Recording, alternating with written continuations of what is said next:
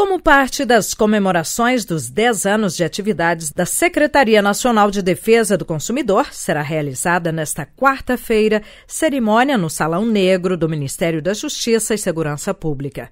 A Senacom atua no planejamento, elaboração, coordenação e execução da Política Nacional das Relações de Consumo.